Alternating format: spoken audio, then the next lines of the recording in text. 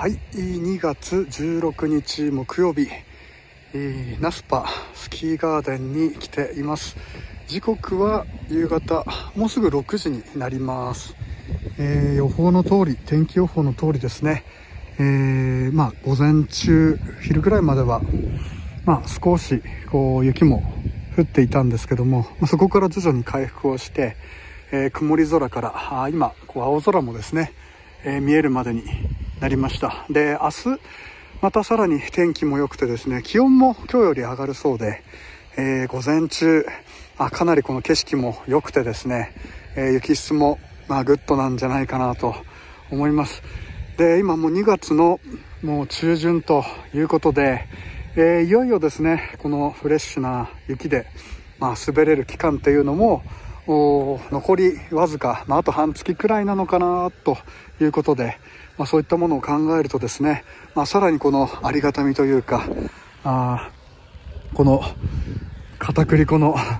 ような雪で滑れるのもですね、まあ、あとわずかかなと思って、えー、ちょっとありがたみが出るわけなんですけども、えー、まあ、残念ながらと言いますかあ、まあ、降雪、まあ、雪はかなり、えー、降って積もりはしたんですけれども、まあ、パウダーランで切るほどの雪の深さというものはあちょっと得られていないのかなとで積もっていないのかなというふうに思います。えー、まあ、なので、まあ、見た感じですね、コース脇なんか見ると、ふわふわしてて、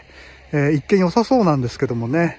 えー、まあ、浮遊感あるところはあるんですけど、えまあ、雪が基本的には底付きしてですね、えまあ、ガリガリとした足場といいますか、えなので、まあ、そこはちょっと心して、えー、滑る必要があるかなというふうに思います。えー、まあ、ナスパよりも高い場所にある、まあ、正面の陥没ですとか、えー、他のスキー場に行けばですね、えパウダーランもしかしたら朝市とか楽しめるかもしれませんけれども、まあ、ここは行ってみないとわからないっていうのが、まあ、正直なところですけどもね。はい、えー、ということで今日のえー、ゲレンデの様子ということで、えー、ナスパの、ナスパスキーガーデンの様子でした。えー、以上。